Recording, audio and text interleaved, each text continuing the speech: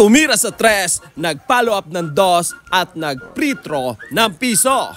Nahuli ko nga ang tatlong ito na may sinisindihan gamit ang lighter at ang sabi pa nga ni Gerald, huwag kang masyadong malikot na mamatay ang sinde.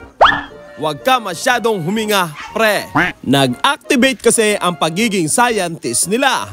95 kasi ang grade nila sa subject na science.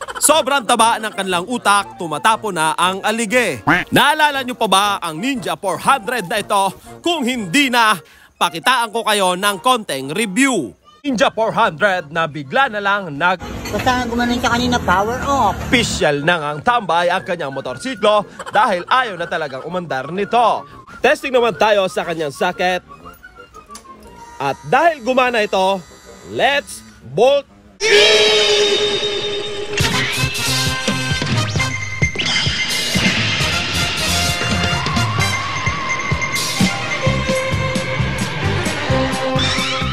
At heto na nga, atin ang binolt out ang dati nang nabolt in.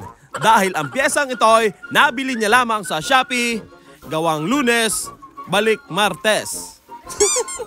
Heto't nakapag-provide na nga ang ating repa ng isang brand new at genuine na pyesa. Kung itatanong nyo kung magkano ang halaga nito, katumbas ng isang buwang sweldo ng ordinaryong empleyado. Heto't isinasalya na nga ni Ryan ang bagong fuel pump. Napansin ko sa bandang Gedli may umaaligid na doggy at ang cute gusto ko makipagkulab.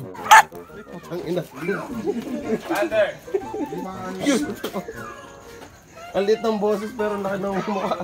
Balitang balita, utot, ipinasok sa rep, tumigas, nasa comment section ang link.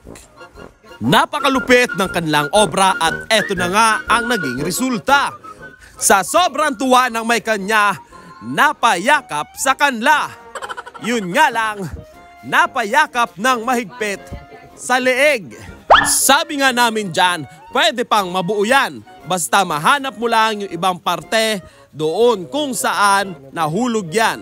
Ang sabi ng may kanya, sige, ibabalik niya, hahanapin niya lang sa expressway. Joke lang. Dahil malapit na nating paandarin, eto na nga ang tropa, nakaabang na, may dalang fire extinguisher. Ayon din sa may kanya, nakaisang bomba lang daw siya nung New Year and after that, napaupo na lang siya sa Gedli habang napapaisip kung ano ang tunay na nangyari. At eto na nga, pakinggan ang pump. At dahil tumunog ang pump, testing tayo kung worth it ba talaga ang katumbas ng isang buwan na sweldo.